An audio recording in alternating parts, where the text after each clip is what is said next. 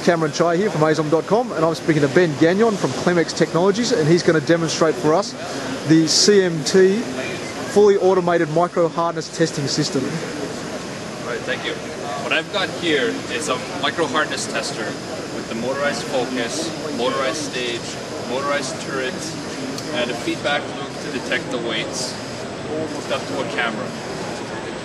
So in order to keep this video short, I've pre-indented the sample.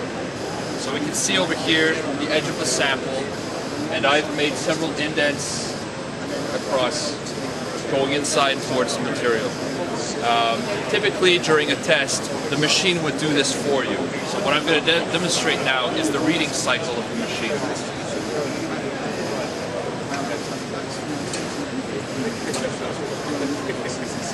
So the first thing the uh, software will do is autofocus on the indent and then uh, take a reading by thresholding. So you can see as it goes, uh, the graph over here will draw itself. Uh, so right now we've got two points. Um, I've set it up to have it focus on every third point. So let's just wait until it, uh, it, it completes its reading to discuss the results.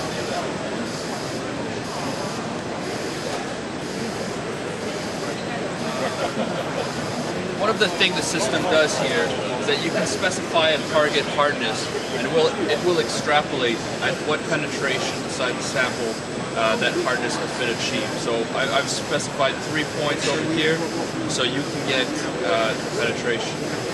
Once the test is complete, um, you can verify the points, modify some values, you can print out the data, export them into Excel, and that's all there is to it.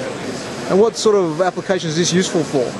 This is very useful for bearing, uh, bearings manufacturers, gears, special parts, um, anything that you would heat treat where you would want the hardness. Welds. All right, Ben, thanks very much. No problem.